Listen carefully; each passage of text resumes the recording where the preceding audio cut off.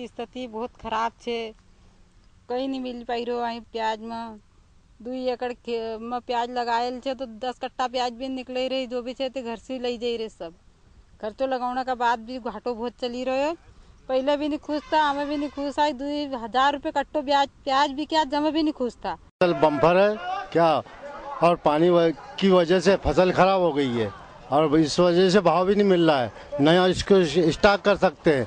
इसको रखने की जगह भी नहीं है। मजबूरी में जो भाव बिके वो भाव बेचना पड़ रहा है। पच्चीस परसेंट भी नहीं लागत है। मतलब इसकी तो हमको उतना भी नहीं मिल रहा है।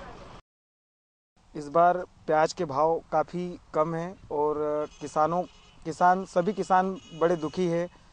जिस प्रकार से उन्हें इस बार उम्मीद थी, प्याज से वो भरपाई उनकी हो नहीं पाएगी, क्योंकि मौसम ने भी मात दे दी और भाव ने भी किसानों को काफ़ी हद तक परेशान किया है।